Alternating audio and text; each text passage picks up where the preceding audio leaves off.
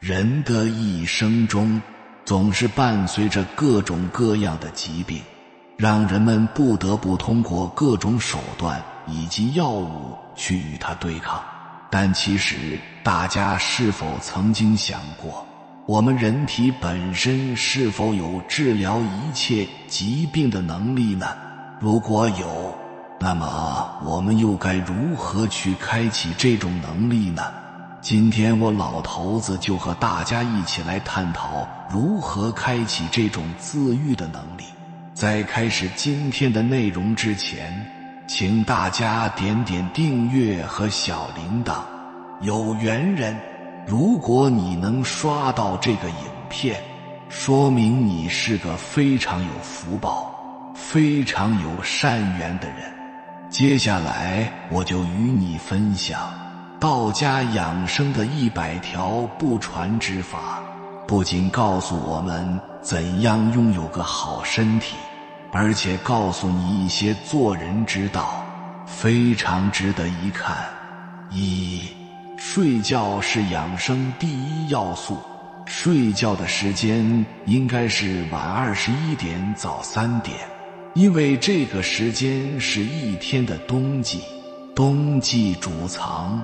冬季不藏，春夏不长，即第二天没精神。二，一切药物对治病来说都是治标，不是治本。不管是中医还是西医，因为一切的病都是错误的因产生错误的果，错误的因不除，错误的果就不会绝根。健康的根本在心，一切法从心生，心静则身静。所以得病了，不要向外求，要靠自己自身的修复系统来修复自己的疾病。其实人和动物是一样的，动物的病都是靠自己，人也能。三，正确的观念。远比昂贵的药物和危险的手术更能帮助患者消除疾病。有了正确的观念，你就会有正确的决定，你就会有正确的行为，你就可以预防许多疾病的发生。四，人所具有的一切智慧，绝对不是从书本里学来的。而是从自己的真诚心、清净心，从定中生出来的。五，人是一切生物中构造最完美的灵体，健康的身体是人生来就具足的。人的健康状况的调节，是靠人体本身所具有的调节修复系统来完成的。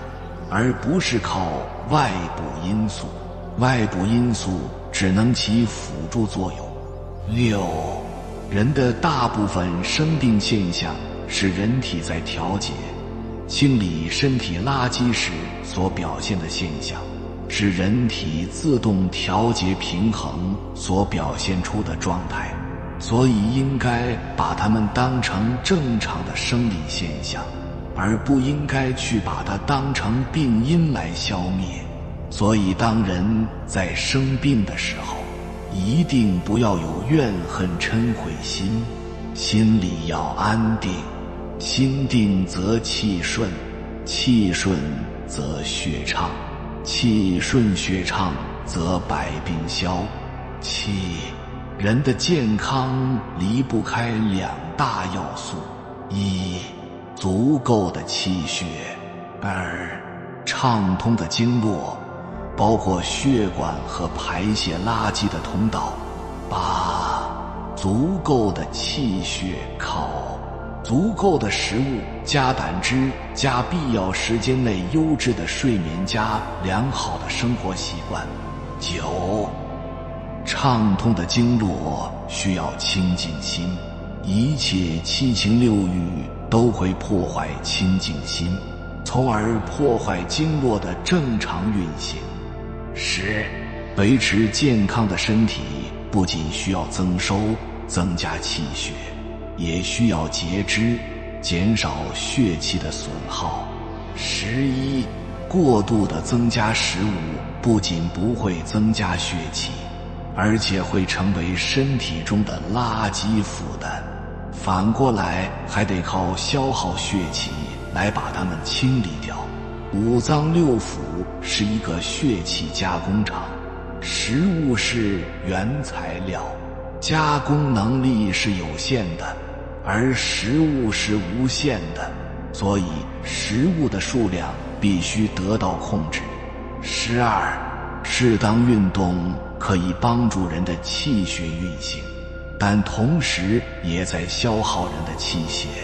人体的微循环主要应该靠松静来达到的，这也是健康必不可少的。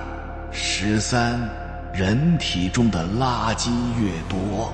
就越需要更多的血气来清除它们，但人的血气因为垃圾的增多和血脉的阻塞而减少，这就形成了恶性循环。这也正是人衰老的机理。所以，人要想健康不老，就要一减少体内的垃圾，二。增加血脉经络的畅通，三，增加体内的气血。十四，与其相信药物，相信检查的数据，不如相信自己的感觉，相信自己所具足的自我调节能力。但这需要在你得到的前提之下，才能分辨这一切。十五，健康从调节心性开始。为了你的健康，修道吧。修道得到的快乐是人生最高的享受。十六，对于一个有素疾的人来说，只有气血充足了，一是通过这里所介绍的补充气血的方法。二是通过静坐打通气机，病情才会显现出来。所以练功的人在功夫达到一定水平后，都会出现一些有病的现象。这个时候要沉住气，定下心来，多做些静功，来增加自己的气血，以尽快度过这个时期。时期。人违背了养生法则，虽不一定会立即得病，但一旦形成习惯，就会大大增加得病的机会。这就和交通规则一样，你违背了交通规则，不一定会出事故，但其危险性是显而易见的。十八。人为什么必须保持一定的饥渴，才是对养生有利呢？其实这就是虚的妙用。道家讲“虚则灵”，这和谦虚使人进步，自满使人落后一样。所以人必须经常保持虚灵的状态，才能时时保持清醒，保持健康。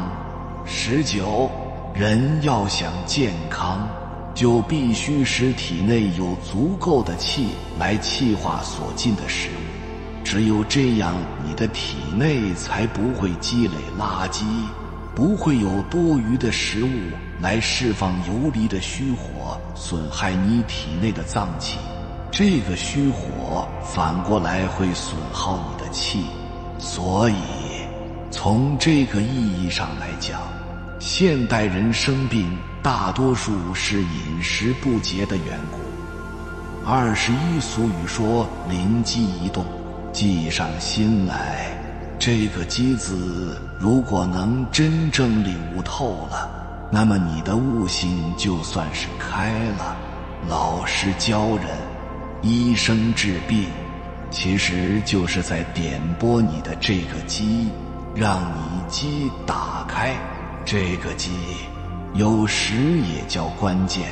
当然，这个机起作用是有条件的，就和氢气只有达到一定浓度，遇火才可以燃烧爆炸一样。记住，别人的作用都是外因，你自己才是真正的内因。二十二，其实许多真正的发现和发明，所需要的不是所谓系统的书本知识，恰恰相反，一个没有受过任何系统教育，但悟性极高的、具有开放思维的人，他往往真正悟到真相。二十三，人生最忌是个乱字。心乱了，对外可以稳势，对内可以打扰血气，使失正常。烦恼、怒、恐怖、喜忧、昏疑，都是乱，为多病短寿的根源。不但养病时不应乱，即平居时亦忌心乱。二十四，多嗔伤肝，多淫伤肾。多食又伤脾胃，忧思伤脾，愤怒伤肝，劳虑伤神。二十五，身病之起，无不由心虚弱，外邪乘入，而心虚气弱，每由心魂恼乱，真体不充，发现种种不安。贪食、贪生、贪得、贪悦意，皆足以治病。以贪之不得，于是乎嗔。贪嗔可使心荡气足，胆经肝旺，六脉震动，五脏沸腾，外邪同时乘入，此病之起因。二十六，凡人欲求长寿。应先除病，欲求除病，当明用气；欲明用气，当先养性。养性之法，当先调心。二十七，人受五行之气而致生，故肉身以气为主，气亏则病，气滞则病，欲治其病。先治其气，二十八，气以行血，血以补气，二而一也。凡人久视则伤血，久卧伤气，久坐伤肉，久立伤骨，久行伤筋。七情六欲之果，则伤元气，伤心肾。向火旺，真阳耗。二十九。治五脏之病，莫先于补气。肾由己焉，补气再勿动心，心动则肝旺，各脉震惊，真水耗损。心未善，主引风，风动则火旺，火旺则水干，水干则地损。三十。心定神一，受之者信坚心专，两心相合，可以统治百病，无不神效。三十一，人病可分两种，一是经络基本畅通，但气不足，表现是经常这疼那疼，这是因为他气不足以气化食物，而产生了香火。也叫虚火，随着经络在体内乱穿，哪儿通走哪儿。遇到一个地方堵塞了，这个地方就疼了。这样的人吃一点药物就会立即见效。二是经络不通，气也就无处存身，表现在外表看不出有什么毛病。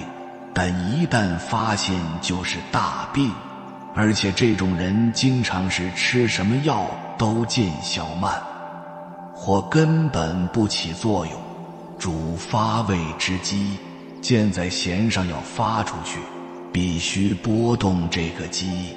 其他任何事情都是这样，都有一个机，只有触动这个机，事情才会发生。不触动这个机，其他的条件再多，也没办法引发事件。机就是这么一个东西，它是事情发生的最关键因素。它是点，不是面。可是触动这个点，就能带动面。所以，病机就是疾病发生、发展、变化的最关键因素。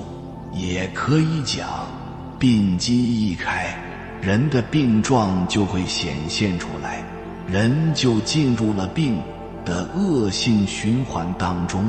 和病机相对的就是生机，生机一开，人就会进入康复这个良性循环当中。实际上，病机和生机是一个东西的两个方面。是一对阴阳，病机开了，生机就关了；而生机开了，病机也就自然开始关闭了。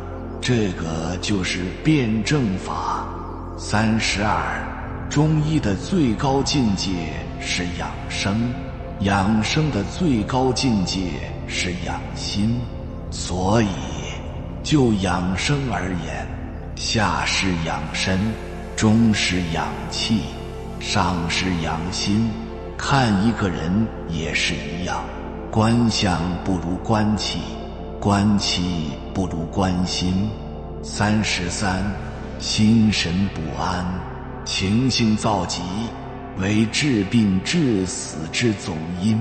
故安心法为卫生第一要诀。心可以主动一切，心定则气和，气和则血顺，血顺则精足而神旺，精足神旺者，内部抵抗力强，病自除矣。故治病当以摄心为主。三十四，风寒阴阳属实，在皆可使人治病。万一抵抗力薄弱，即可乘虚而入。身弱者多病，即是此理。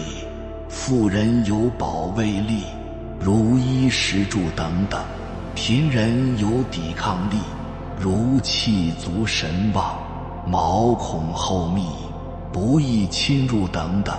妇人多食肥甘，伤胃伤齿；贫人多饿。所食不杂，故无常病；富人多益，故多气恼；贫人多老，故少疾病。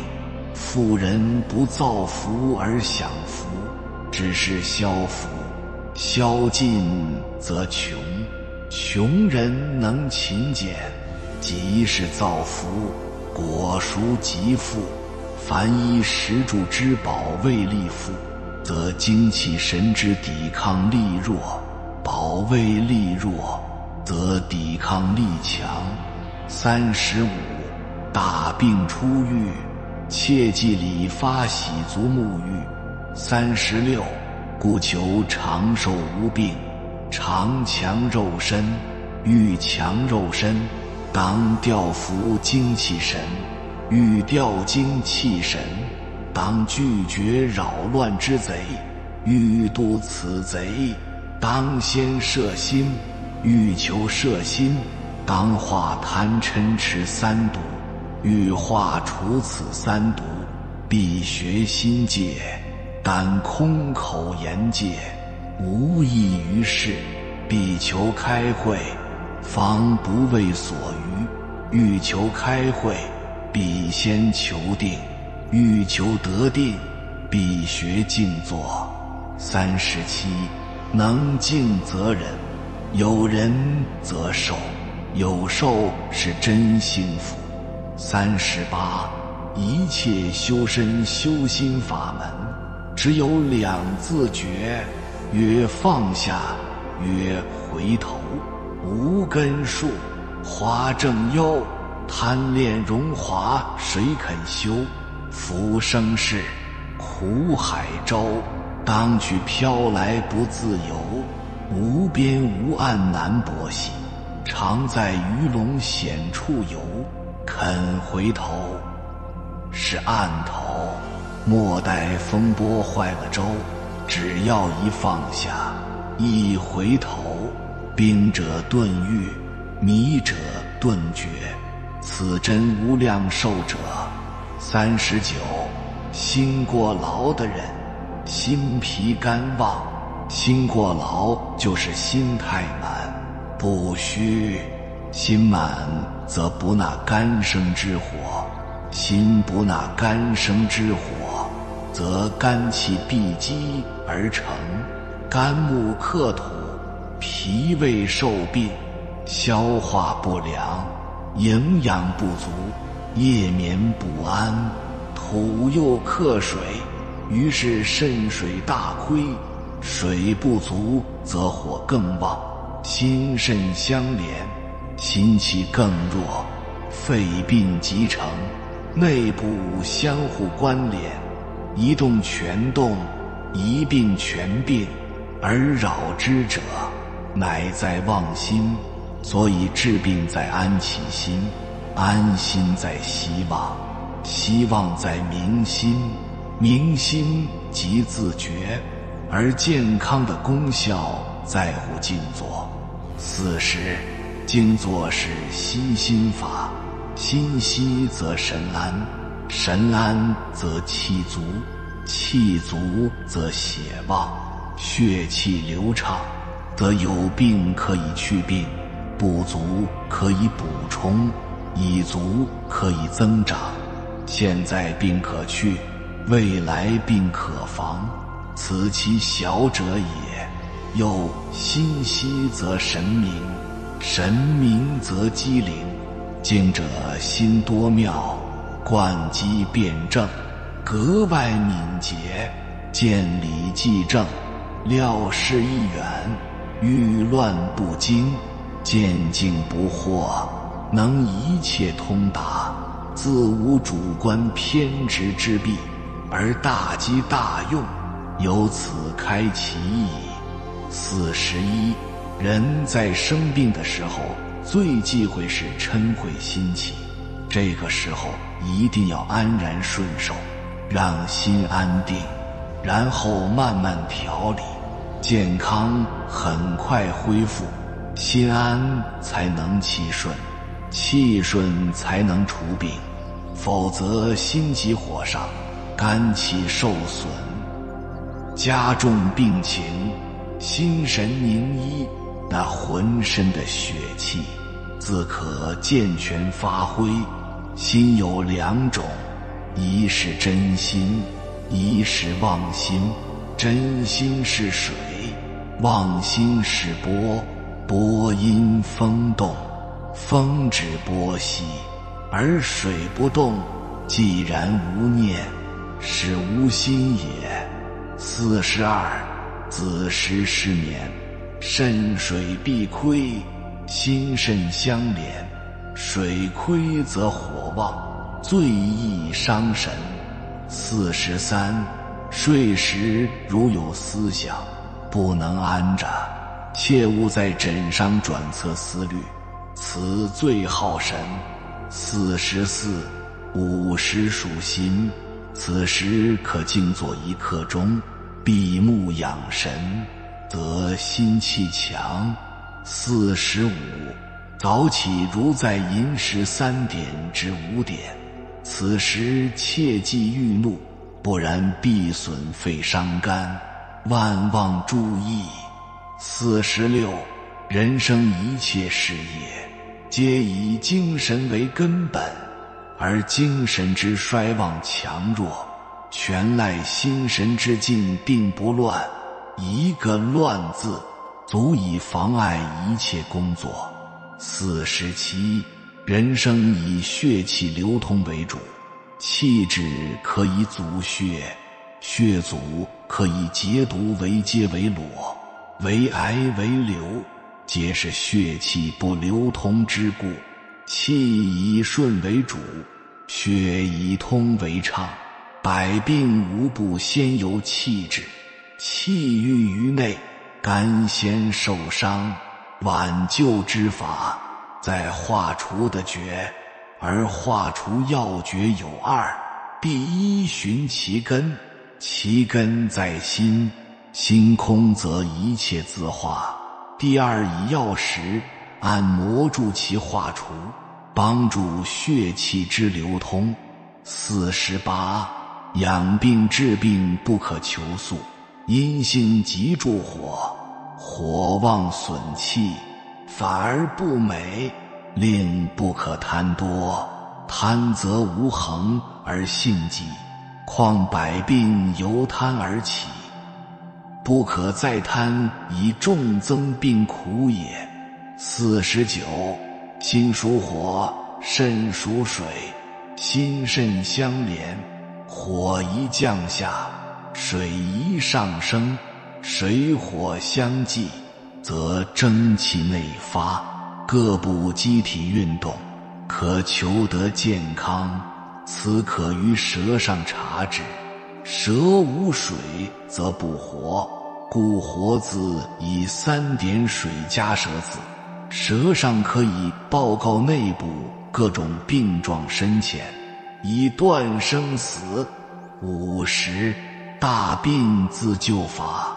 一，不要怕死，决心我这个病非但可以养好，并且身体可以格外健康，保证长寿，因为自己机体中本有特具的能力，不是空言的安慰。二，相信不用医药或靠何种营养食品，一定有自己除病延年的妙法。三，从今日起，我决定不许再去打扰我那病体，不许想着我那个病是如何病的，好坏都不许去计较它，只做个无事人。四，在这修理期内，不许想念工作，也不许悔恨丧失了时间和工作，专心一致。否则又迟误了。五十一，静养法，安坐在床上，把身心一齐放下，自己浑身如融化，不许用一毫气力，好像没有这个身子相似。呼吸顺其自然，心也不许他用一点力，一起念便是用力了。把心安在脚底板下，此事引火向下，引水向上，自然全身气血顺畅。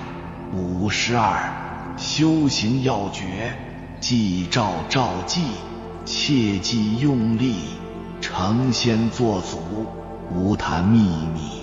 具体要求：不许任何部分用一点气力，包括意念。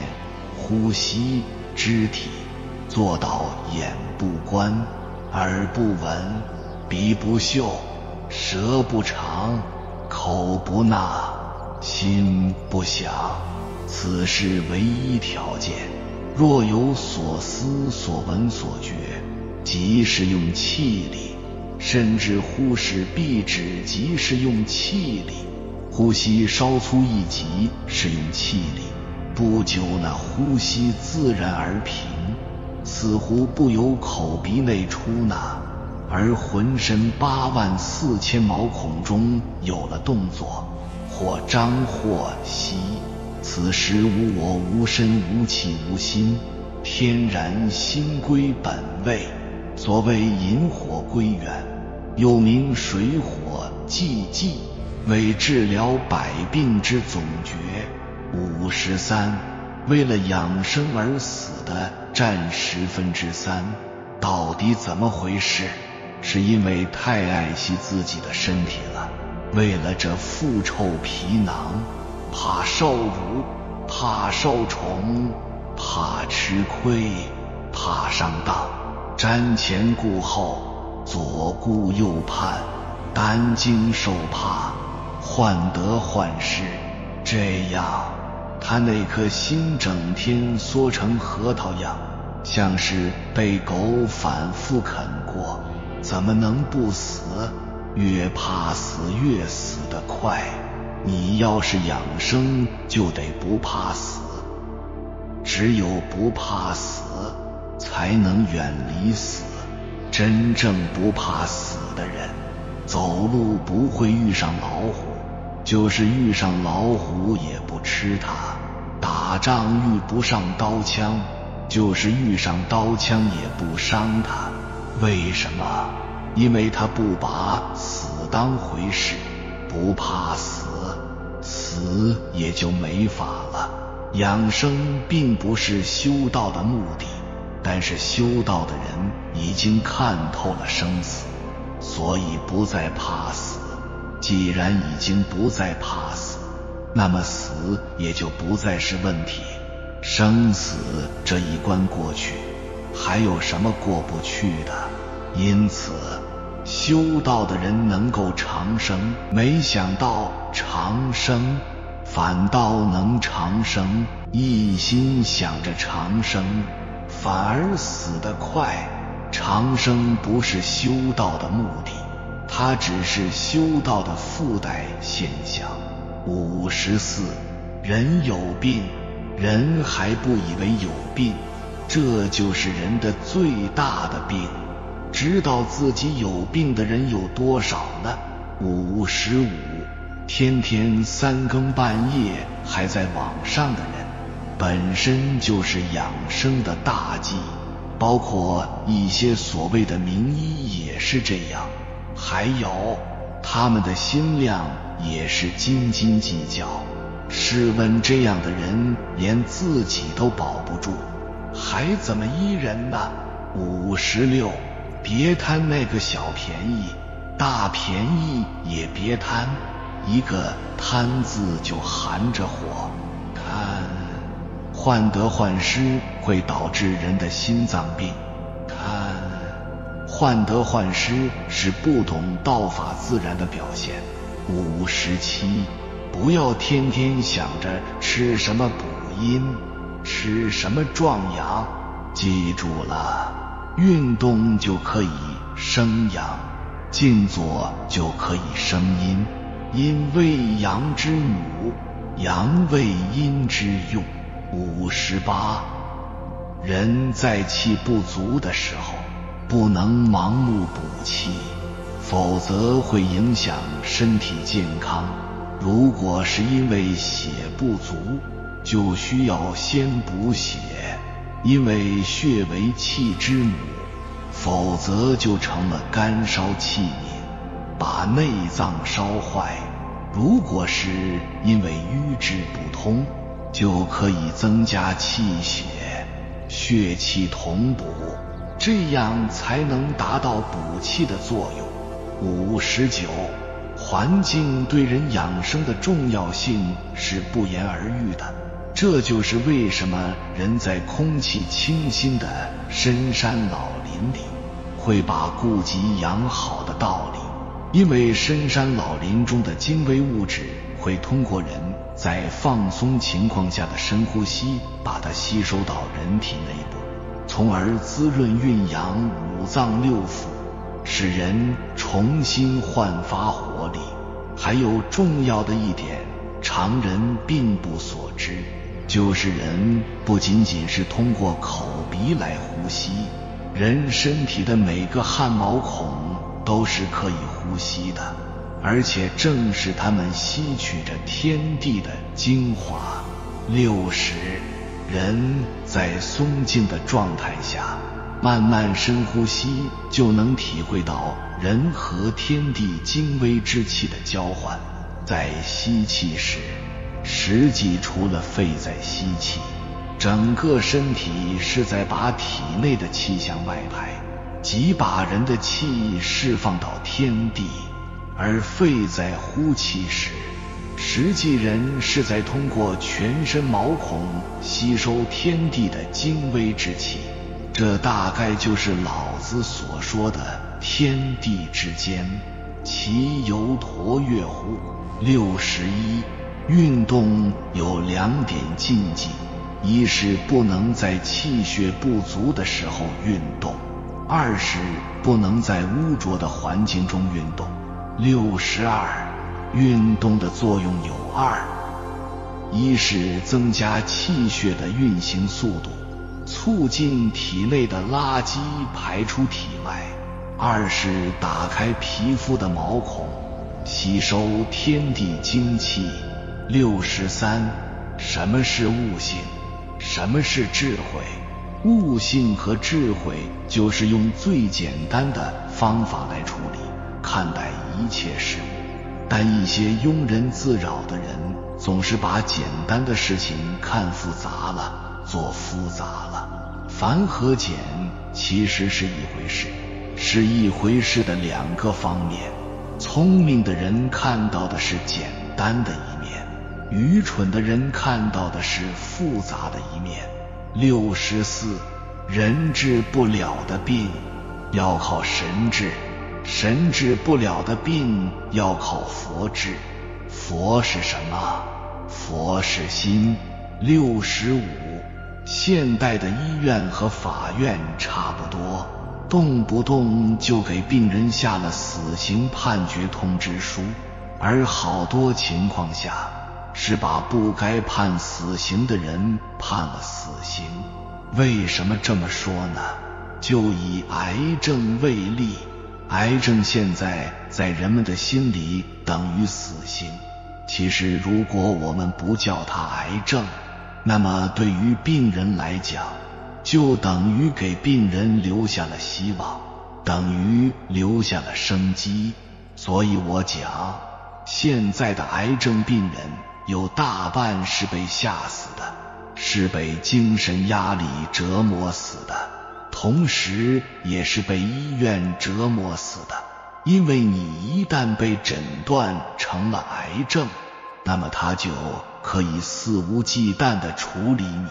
治不死是你命大，治死了，因为你是癌症。事实上讲，没有治不了的病。只是你的心能不能放下？一切病从心生，一切病从心治。只要你还活着，你就有生机。找到了这个生机，对症而治，你就会康复。六十六，现在是一个竞争，把所有的秩序都打乱了。把人引入了魔道，竞争是什么？竞争就是把人们引入无限的贪欲世界。你一方面提倡竞争，一方面又谈什么构建和谐社会，这不是典型的自欺欺人吗？六十七，根据阴阳互报的原理来看，清与浊相互吸引。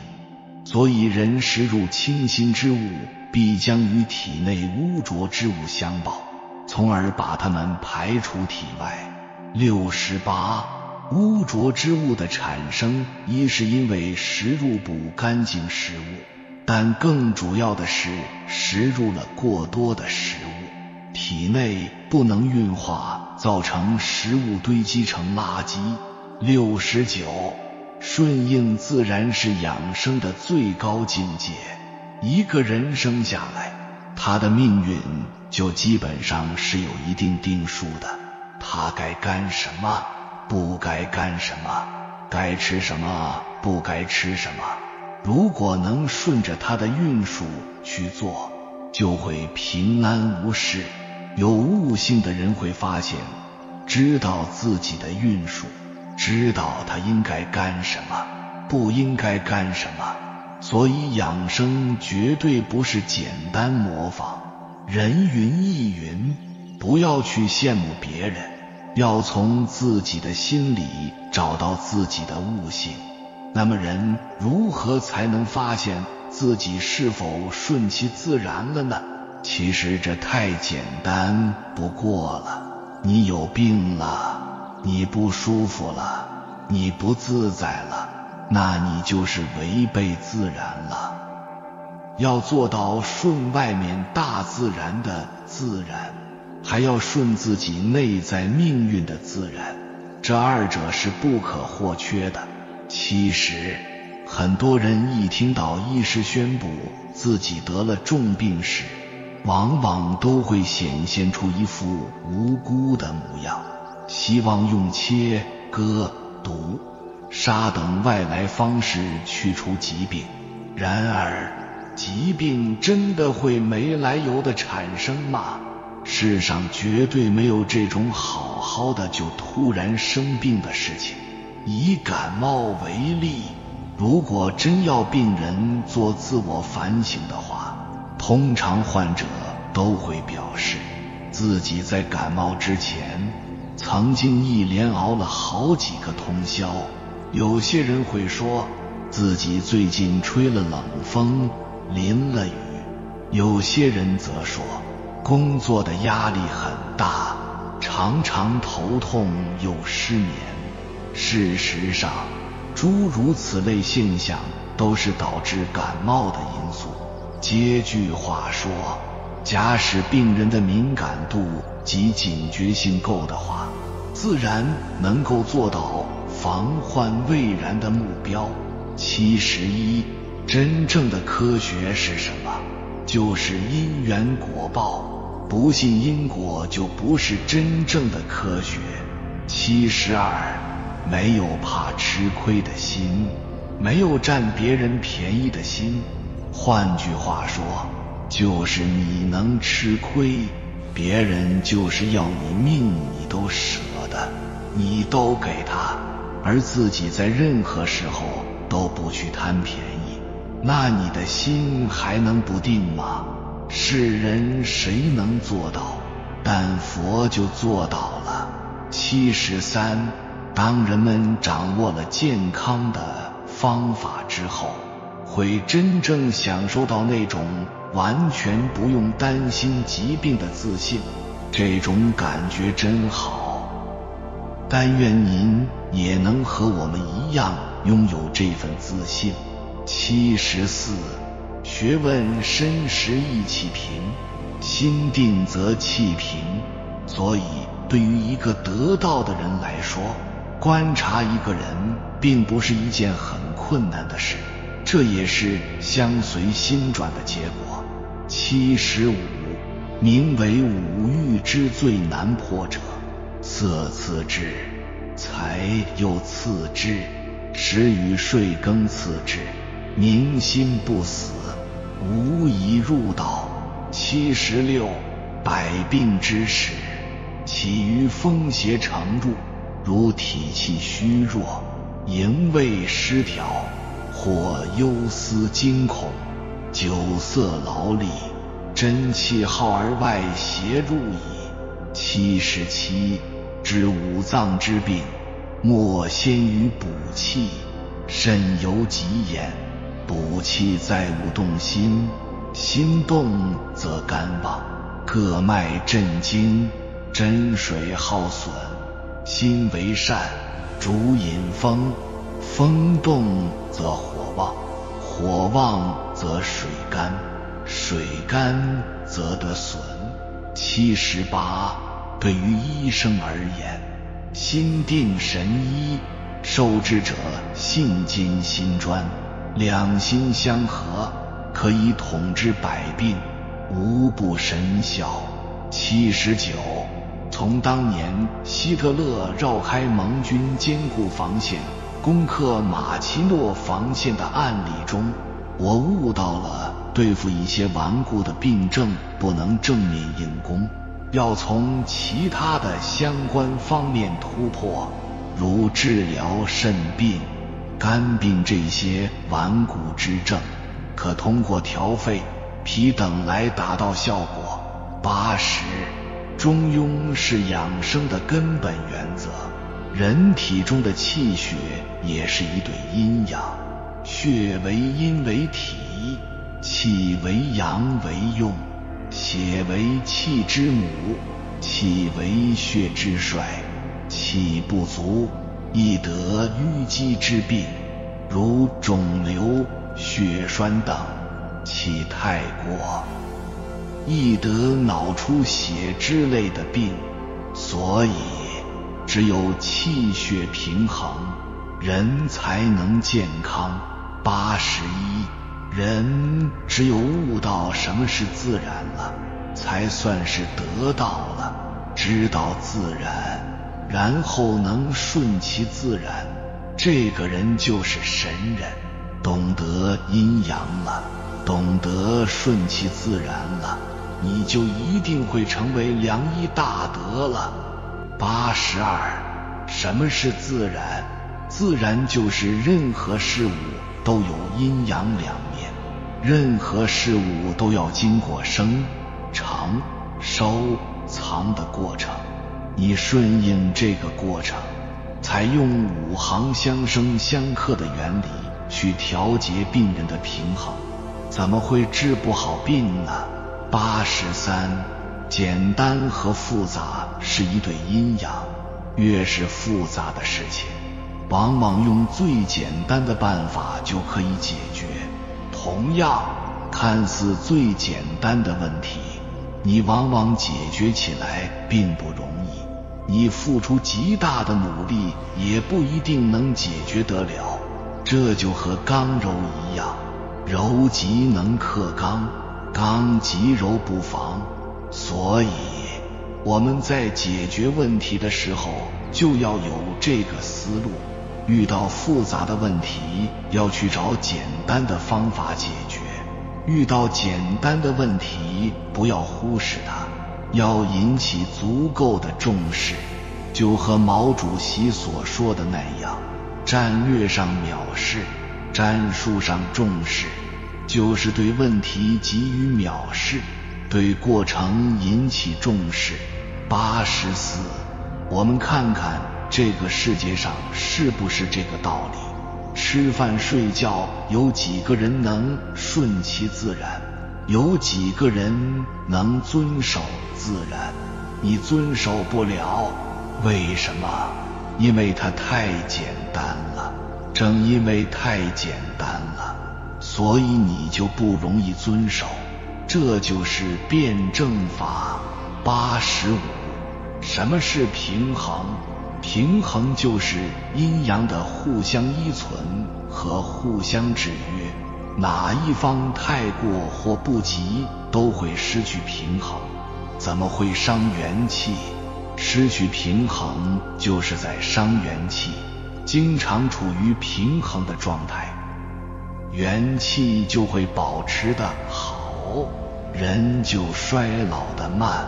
八十六，阴阳之道就是矛盾对立的两个方面，互相依存。互相转化，任何一对矛盾，如果一方脱离了另一方，不受另一方的制约了，那他离消失、灭亡就不远了。你看，当今社会领导们都不喜欢制约，喜欢独来独往，我行我素，贪污受贿，其结果是什么，就可想而知了。阴和阳就是如此。大自然中一个事物的出现，总有令它产生的因素，但同时总会出现另一因素来制约它。这就是五行相生相克的道理，也是阴阳相互依存、相互制约的道理。所以养生的道理也是如此。你生病了。总有一个使你生病的因素存在，同时也会有一个制约它、令你疾病消失的因素存在。正如自然界中毒蛇存在的地方，必定附近就有解蛇毒的草药存在一样。八十七，什么叫人得意忘形？他失去控制了，失去阴的制约了。所以其下场毕竟是同样人也不能一味消沉下去，这就是失去阳对他的制约了。八十八，如何具有大智慧？没有博大的胸怀，哪来的大智慧？八十九，俗语说：“活到老，学到老。”学习也要应时，到什么年龄就要学他这个阶段应该学的东西，否则就是不应时，不顺其自然。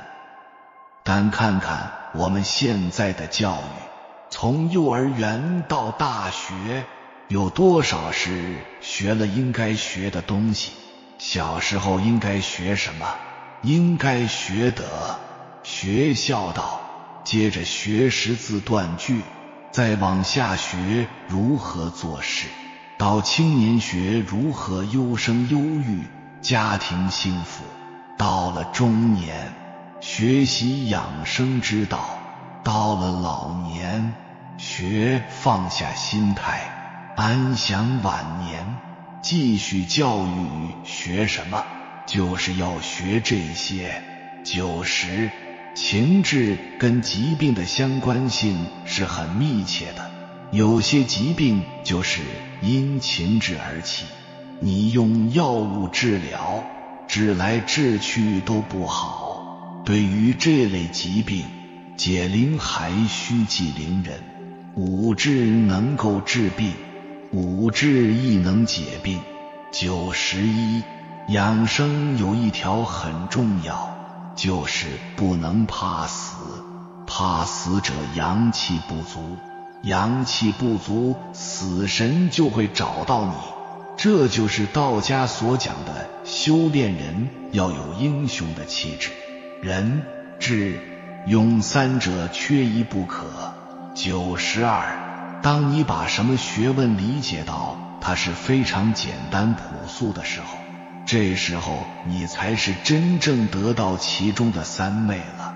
如果你还感到它是那么博大精深、深不可测，那是你还没有掌握到它的精髓，是只见到茂密的树叶，而没看到它的根本。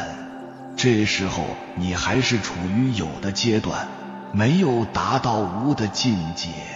一切离不开阴阳，万事万物离不开阴阳，这个根本就是阴阳知其一，万事毕。九十三，凝神定气，物我两忘，养生的真谛。九十四，主明则下安，以此养生则寿，莫时不殆。以为天下则大昌，主不明则十二官微，使道闭塞而不通，行乃大伤。以此养生则殃。以为天下者，其宗大威，戒之戒之。九十五，五行相生相克的应用，凡是因五脏太过引起的疾病。都可以用五行相克的方法对治。同样，凡是因为五行不足引起的疾病，都可以用五行相生的方法解决。这是运用五行的根本原则。九十六，现代人往往都在追求提高物质生活方面下功夫。这种追求的后果是很可怕的。要知道，人们对于物质的欲望是无止境的。一旦这种欲望得不到控制，那等待我们的就是无止境的痛苦。其实，物质能带来的享受，精神也能。药物能治疗疾病，心理疗法也能做到。所以，我们用一生来追求财富，不如用一生来培养出一种好的心态，让我们的精神达到一种超凡的境界。九十七，当人们掌握了健康的理念和方法之后，会真正享受到那种完全不用担心疾病的自信。这种感觉真好。愿我们都能拥有这份自信。九十八，人体是一个充满智能的机体，我们的身体有好多哨兵，牙齿、阑尾、扁条体等。本来，一旦我们的身体有异常时，这些哨兵会立即做出反应，通知大脑。聪明的人这时候就应该调整心态，检讨自己，让自己平和下来。但现在我们的西医都做了什么？你疼不是吗？我把你们通通切除掉。现在更有甚者，发明了一种仪器。你不是得了过敏性鼻炎打喷嚏吗？我把你鼻子里的敏感区神经烧毁，这样以后你怎么刺激它都不会打喷嚏了。西医这样做的后果就是，可能我们在生病后，切掉的就是我们的五脏六腑了。九十九。偶尔拉肚子、打喷嚏、咳嗽、发烧等是身体修复系统在工作，不要一出现这些症状就滥用药物。一百，很多重病或绝症都只有一个理由：恨。当这恨没了，病也必一起消失。这世间最难解的是绵延不止的恨。故有解不开的恨，才有治不好的病。有缘人，感谢你看到最后。如果今天的影片对你有所帮助，请按个赞给我响应。还没有订阅频道的，请点击右侧的订阅按钮，与我们建立更深的连接。随缘加入会员。与同频之人共修福报，随喜转发，传播善知识，功德无量。